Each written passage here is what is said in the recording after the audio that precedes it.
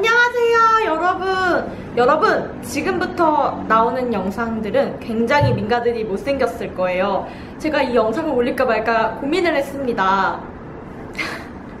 진짜 많이, 정말 많이 못생겼어요. 감수하고 봐주세요. 눈 버려도 전 모릅니다. 심지어 혐오주의도 나올 수 있어요. 답은 이 영상을 보시기 전에 아니면 보시고 한참 뒤에 먹길 바래요. 그럼 영상 보러 가실게요, 여러분.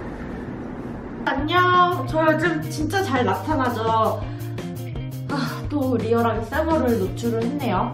오늘은 민가든의 꿀팁, 돈 아끼는 꿀팁이 또 찾아왔습니다. 바로 뭐냐면 제가 되게 유용한 정보를 인터넷에서 어, 득템을 했어요. 야, 나와.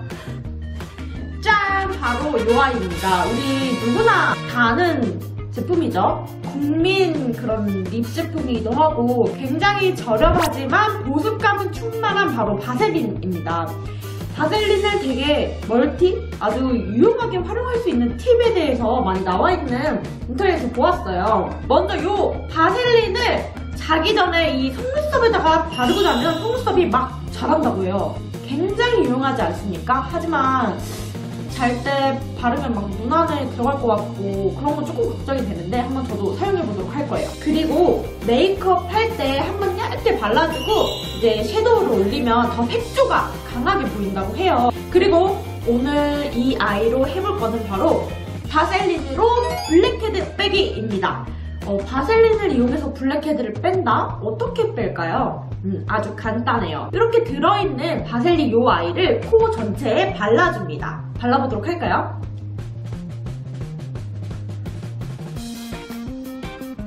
아 근데 before after는 안 찍었네.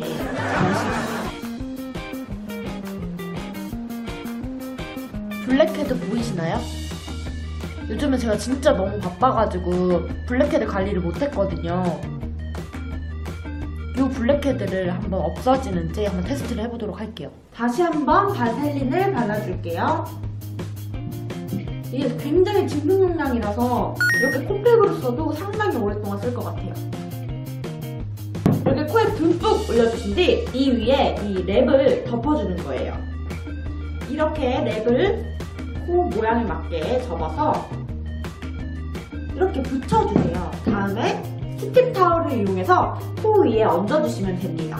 저는 지금 이렇게 붙여놓고 샤워를 하고 올게요. 여러분, 제가 샤워를 마치고 왔습니다.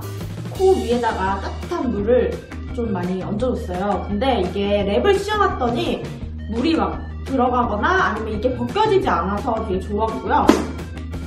문화코가 물을 떨어뜨렸습니다, 여러분. 그럼 이제 한번 벗겨볼까요?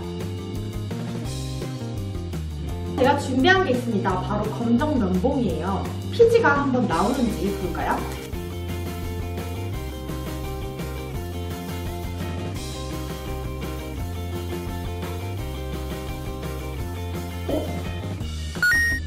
빠졌어요.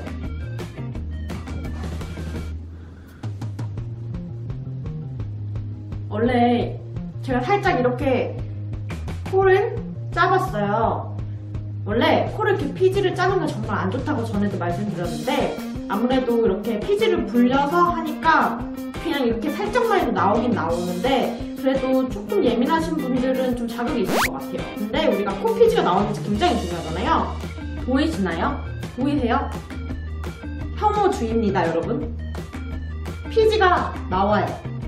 피지가 살짝만 짜도 나오는 게 보이는데 엄청나게 드라마틱한 효과는 없지만 그래도 피지가 불어서 좀 쉽게 나온다는 거 이렇게 면봉으로 확실히 보니까 확인할 수 있었어요 이렇게 밀면 피지가 나오는 건 아니지만 이렇게 밀었을 때 피지가 조금씩 나오고 이렇게 좀 짜야지 많이 나와요 오늘 같이 한번 보니까 바셀린을 이용해서 블랙헤드 제거하기 되긴 됩니다 하지만 코에 조금은 자극이 있을 수 있다는 거 그래도 그냥 코를 막 짜는 것보다는 이걸 사용해서 약간 피지를 불려주고 사용하면 좀 모공이 넓어지는 걸 막을 수 있고 또 자극이 심한 것도 좀 줄일 수 있겠다 하는 민가든의 평이었습니다. 여러분 오늘도 꿀피부 언니의 스킨케어 루틴 돈 아끼는 꿀팁 재미있게 보셨다면 댓글과 좋아요 눌러주세요. 그럼 우리 다음에 또 만나요. 안녕.